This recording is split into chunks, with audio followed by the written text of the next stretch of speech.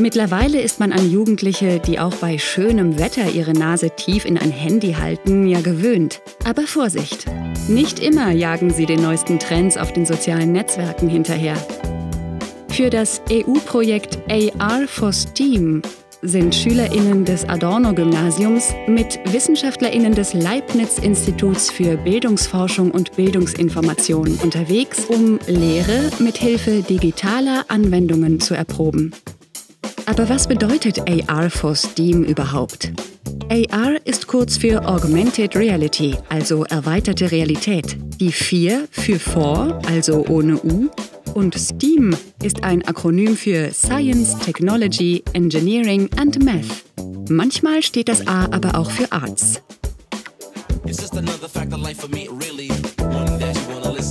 In sechs Ländern, den Niederlanden, Belgien, Deutschland, Italien, Türkei und Zypern, nahmen Schulen dieses Jahr an dem Projekt teil, bei dem Schülerinnen, aber auch Lehrerinnen an das Thema AR rangeführt wurden. Dana Kube, die Koordinatorin vom DIPF, erläutert im Interview, wie das Projekt zustande kam. Also entwickelt wurde es, äh, soweit ich weiß, 2018, 2019, vor allen Dingen von dem italienischen Partner FEB aus, die schon mehrere äh, Bildungsprojekte im Erasmus Plus-Kontext gemacht hatten, sind dann an äh, STIP rangetreten, beziehungsweise auch an unseren Prof, der für Educational Technologies zuständig ist. Und äh, ja, dann kam die Kooperation einfach dadurch zustande, dass es für uns interessant ist, eben auch mal mit Augmented Reality zu arbeiten im Schulkontext. Ne, man kommt ja auch aus der Forschung nicht so oft an praxisbezogene Projekte, wo man direkt mit den Schulen etwas zusammen entwickelt. Das war natürlich äh, sehr spannend ne? und äh, bietet auch einfach unglaublich viel Nährboden für neue Forschung. Die Schule in Brüssel äh, schaut sich äh, Atome an ja, und die Entstehung von Atomen. In der Türkei arbeiten sie, soweit ich weiß, äh, an einer technischen Entwicklung, die auch zur Berufsschule passt. In Italien gucken sie sich im Chemieunterricht auch andere Kon äh, Konstrukte an. Wir haben uns physikalische, mathematische Formeln in der Anwendung in der Natur angesehen. Also man hat einfach unterschiedliche, aber auch total offene MINT-Foki, die du zusammenführen kannst, einfach mit dieser Übersetzung auf das Augmented Reality. Wir haben alle in unseren Ländern nach Apps geschaut, die vernünftig sind. Ja? Also sagen wir, die einen pädagogischen Mehrwert haben mit Augmented Reality.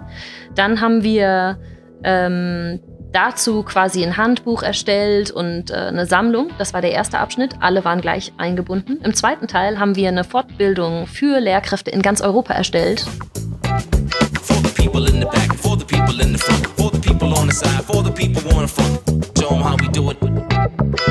Show them how we do it.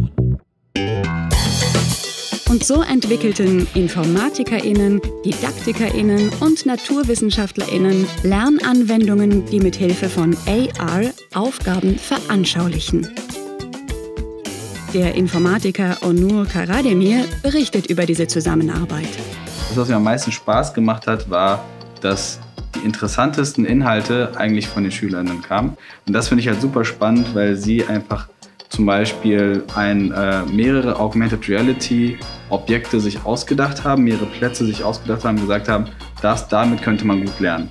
Und die, unsere besten äh, AR-Checkpoints, die wir in der App haben, die haben die Kinder entwickelt. Das finde ich halt super spannend. Und genauso auch die Quizfragen, die wir erstellen, die besten Fragen kommen von den Kindern. Als Anwender ist es, es ist einfach, sobald man ein bisschen das Onboarding hatte, ich sehe ja bei den Kids, dass die da super äh, affin sind, die sind affiner als ich in den Bereichen und kriegen das schneller hin, als ich dieses Objekt vernünftig zu platzieren.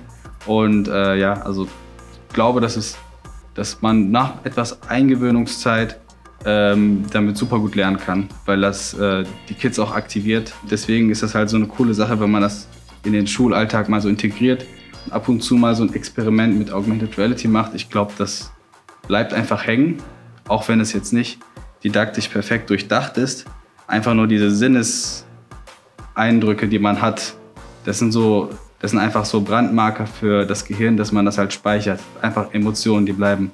Und das ist halt das Coole, was man mit AR machen kann. In Frankfurt wurden SchülerInnen aus unterschiedlichen Jahrgängen mit Tablets ausgestattet, auf denen die mit Hilfe der freien Software GeoGebra entwickelte Lernanwendung für das Projekt installiert war. Damit konnten sie virtuelle Hilfslinien oder geometrische Formen in die Landschaft oder an Objekten anlegen, mit deren Hilfe diese dann einfach zu vermessen waren. Gerade bei Bäumen oder großen Gebäuden, für die ein Maßband zu kurz ist, erweist sich das als praktisch. So können dann zum Beispiel Volumen oder Entfernungen berechnet werden. Es gibt aber auch komplexere Fragestellungen. Genau, und zwar, wir müssen uns vorstellen, dass hier in dem Bereich und unter der Unterdachung Leute, Personen stehen bei einem Turm. Und die Aufgabe ist es, wie viele Personen in diese Unterdachung passen würden, dass alle quasi vom Regen geschützt sind. Aber sind die Aufgaben jetzt noch schwerer als im Unterricht? Eigentlich nicht, da man sich das viel besser vorstellen könnte, als wenn es jetzt einfach eine Sachaufgabe ist auf dem Blatt. Und hier wird auch schon direkt Hilfe geleistet und natürlich kann man sich auch Tipps holen. Wenn man es oft anwendet, das wäre natürlich super, weil es würde natürlich dann wirklich viel spannender und interessanter machen. Und man könnte direkt sein Vorwissen halt hier anwenden. Aber natürlich muss man auch erstmal, erstmal Matheunterricht diese Themen behandeln, bevor man hier einfach startet. Albert Teichreff promoviert als Physikdidaktiker und hat an der Entwicklung des Aufgabenparcours gearbeitet. Ich fand es auf jeden Fall äh, toll, die Erfahrung, das mal wirklich zu sehen, wie die Schülerinnen und Schüler darauf reagieren, was wir hier vorbereitet haben wie, wie es am Anfang äh, noch viele Fragen gab, wie, wie geht man rum mit der Technik, ja, wie kriege ich jetzt die Objekte wirklich an die richtige Stelle, äh, wohin sie gehören. Und da gab es hier und da Startschwierigkeiten und wir haben uns ja regelmäßig getroffen und da ging es von Mal zu Mal besser. Also das war für mich wirklich ein sehr positives Erlebnis. Das ist nämlich immer so die Bedenken, die auch Lehrkräfte dann haben, wenn sie das sehen, okay, schaffen das denn meine Schülerinnen und Schüler überhaupt, das dann so gut zu demonstrieren oder nachzumachen. Und das Projekt hat mir äh, gezeigt, dass es tatsächlich geht. Für uns ist das, wenn man diese Technik einsetzt, dass man reale Objekte hat, man befindet sich irgendwo draußen, ähm, hat ein Objekt, das findet man spannend und dann kann man aber mit der Technik äh, eben virtuelle Objekte zu diesem realen Objekt hinzufügen. Ja, und das nennen wir dann so Einblenden oder Überblenden äh, von den Objekten und ähm, diese Objekte sollen dann eine zusätzliche Information bieten, dass man die, die abstrakten Konstruktionen, die wir dann machen, ja, oder wenn es auch nur eine Skizze ist, die man im Unterricht an der Tafel hat, die kann man digitalisieren und dann kann man das über das reale Objekt legen, worum es ja dann eigentlich geht. Bemerkenswert, die SchülerInnen wollten gar nicht für das Projekt auf Unterricht verzichten. Anscheinend war die Teilhabe an einer App-Entwicklung verknüpft mit naturwissenschaftlichen Fragestellungen wirklich interessant. Ich interessiere mich ja sehr für ähm, Biologie und auch Physik. Deswegen hat mich die Frau Dennis angesprochen, weil sie auch wusste, dass es äh, mich so interessieren wird. Vor allem nicht nur generell, weil wir uns mit den Themen beschäftigen, sondern ich finde auch ähm, ja, einfach die ähm, Gestaltung der App und so sehr interessant. Mich interessiert, was ähm, unsere Natur so alles bewältigen kann und was so alles in unserer Natur passiert und auch Physik ist ja auch eine Wissenschaft. Mich interessiert, was passiert außerhalb von dieser Welt, ähm, was passiert im Weltraum, Astronomie. Sowas interessiert mich schon, ja. Ich finde, dass Augmented Reality Technik mehr in der Schule eingewendet werden sollte, weil es einfach, man kann sich damit das besser visuell vorstellen und wir haben das auch gar nicht gemacht bis jetzt. Also das war jetzt auch das erste Mal, dass wir sowas gesehen haben. Es ging aber nicht nur um die SchülerInnen. Auch an den LehrerInnen besteht ein wissenschaftliches Interesse. Und dadurch, dass wir auch so viele erfahrene Leute dabei hatten, die Apps entwickeln oder die auch anwenden im Lernkontext, auch mit MINT. Ja? Also diese Verbindung konnten wir herstellen und das war ähm, unglaublich wichtig, um überhaupt die Lehrkräfte dazu zu bekommen, das mal auszuprobieren. Ja? Das ist ja auch eine, eine extra Arbeit, die man jetzt nicht in jeder Fortbildung mitbekommt. Und das war das Wichtigste, denn ohne, ähm, ohne die LehrerInnen, die das benutzt, hast du ja auch keine Schüler, die es ausprobieren können. Und dann habe ich einen Artikel gesehen vom, vom Albert, mit dem ich zusammen studiert habe und sozusagen die Schulbank gedrückt habe und habe mich total gefreut, dass er physikalische AR-Sachen äh, in den Unterricht reinsetzt und man dann irgendwie sich das angucken kann. Und dann haben wir in der Ausstattung hier ähm, einen Schritt gemacht, dass wir ein paar Tablets angeschafft haben und ich das auch im Unterricht einsetzen konnte und war von Anfang an total fasziniert. Am Anfang war das auf jeden Fall ein großes Fragezeichen. Da sind viele Schritte. Man gelangt irgendwie gefühlt auf verschiedene äh, Seiten, also so äh, Punkte mit vielen Parametern. Es ist wirklich schon viel auf der Seite zu sehen. Aber wenn man sich einmal, wenn man einmal versteht, wie es funktioniert, ist es eigentlich relativ einfach. Also wenn man es einmal verstanden hat, kann man es immer anwenden, aber auch nicht nur auf das eine, sondern auf die verschiedenen Stationen dann. Ich möchte, dass man meine Schülerinnen und Schüler nicht nur lernen und irgendwelche Noten bekommen und dann sagen sie, ja, jetzt hatte ich die Schule und da hatte ich eine super Note, sondern auch, dass sie was erleben. Und das prägt. Also wenn sie in ihrer Schulzeit an ähm, einem Projekt teilgenommen haben oder an einem Wettbewerb oder irgendwie noch mal zusätzliches zu dem normalen ähm, ähm, Unterricht, das wir hier haben, erleben, das prägt immer.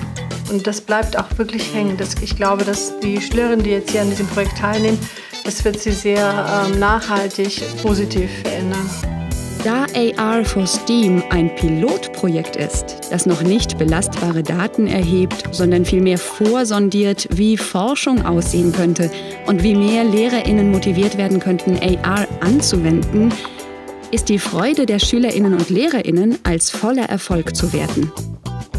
Ich glaube, dass vor allem, da man es ja in der Praxis übt, es einfach eigentlich viel länger im Gedächtnis beibehält, als wenn man es jetzt eigentlich nur theoretisch auf einem Blatt äh, übt. Ähm, daher würde ich sagen, ja, man merkt sich die Formeln, man merkt sich, wo man das alles anwenden kann und ähm, man kann sich das visuell vorstellen.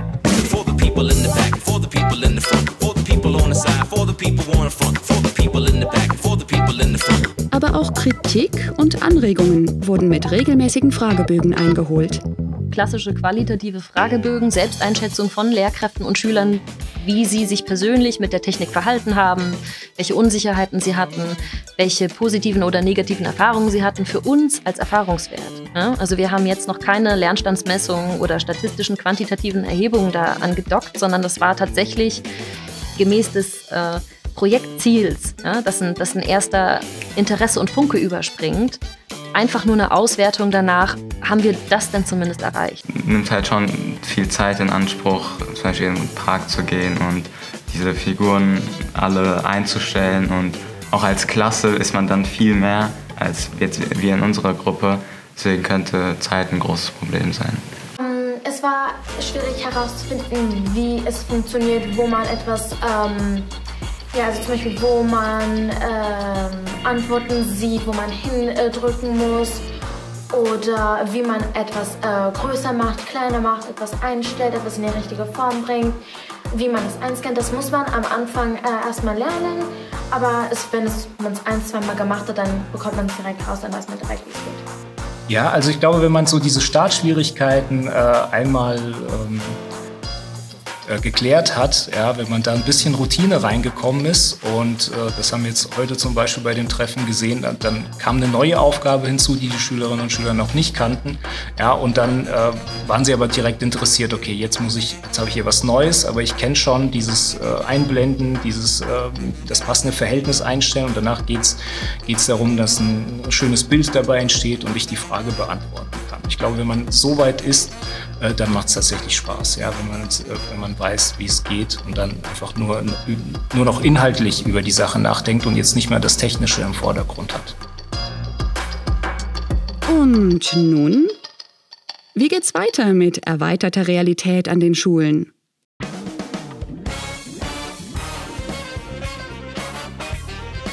Ob das jetzt die Zukunft ist, kann ich pädagogisch noch nicht sagen. Dafür haben wir noch zu wenig Evaluationen vorgenommen.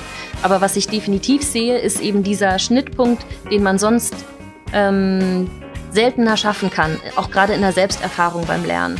Und wenn man merkt, dass man tatsächlich Dinge, die wir sonst beim E-Commerce, beim Einkaufen ja, oder beim Spielen auch von verschiedenen Spielen im Alltag trainieren, wenn wir das auch anwenden können, um tatsächlich kognitive Fähigkeiten, mathematisch, physikalisch, biologisch auch im Unterricht anzuwenden und da sogar einen Spaß noch zu vermitteln, dann ist es auf jeden Fall ein Versuch wert und äh, eine Sinnhaftigkeit, die wir auch noch mal schaffen.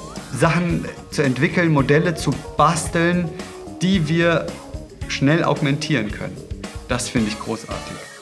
Und ich glaube, das ist eine große Chance für die Zukunft.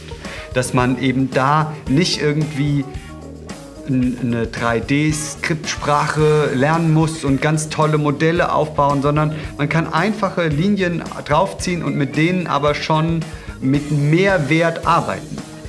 Jetzt haben wir sie gezwungen, aus, Alltags, ähm, aus einem Alltagsgegenstand zu abstrahieren, auf, auf die höhere Ebene zu gehen, auf die mathematische Ebene zu gehen und das ein, auf, in die andere Richtung sich zu bewegen. Normalerweise haben wir einen mathematischen oder physikalischen Zusammenhang und dann helfen wir mit, mit ähm, realen Bildern. Jetzt machen wir mit realen Bildern, gehen wir zurück und sagen, versuchen wir mal das Abstrahieren von diesen Sachen und das ist mir wichtig. Ob AR also zur Zukunft im Klassenraum und außerhalb gehören wird, um das MINT-Lernen besser zu erleichtern, wird sich zeigen. Diese Schule und ihr Lehrerinnen-Netzwerk macht sich auf jeden Fall auf den Weg.